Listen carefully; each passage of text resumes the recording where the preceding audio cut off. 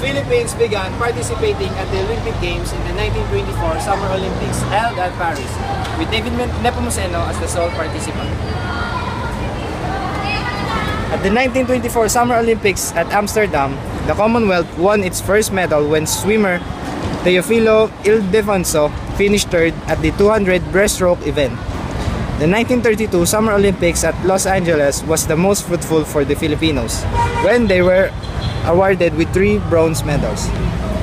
It was even said that Los Angeles weather helped the athletes as it was comparatively the same with that of the